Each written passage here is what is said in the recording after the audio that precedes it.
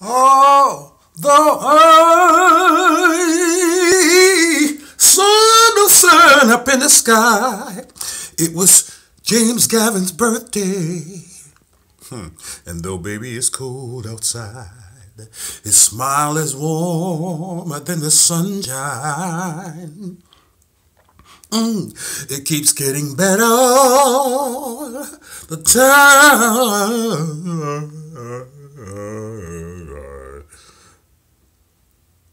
Happy birthday, James.